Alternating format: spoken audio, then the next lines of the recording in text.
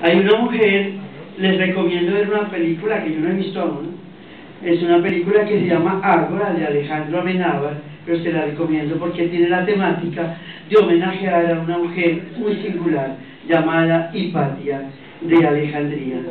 Dirigió la biblioteca y era botánica, filósofa, astrónoma, matemática, una mujer muy prodigiosa en su saber para cualquier época.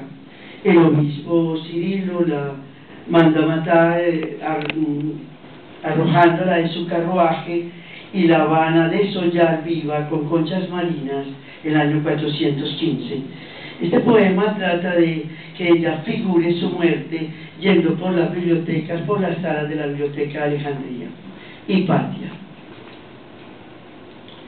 Lee a Aristarco y deja en el armario el rollo de papiro escrito en griego ya entendió el movimiento planetario, cada órbita al Sol, arco andariego, abisal llama, fruto solitario.